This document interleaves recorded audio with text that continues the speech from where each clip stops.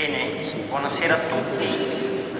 Io sono Andrea Pizzoli, parlo a nome del Coro Jacopo da Bologna, sono il vicepresidente e sono molto orgoglioso e felice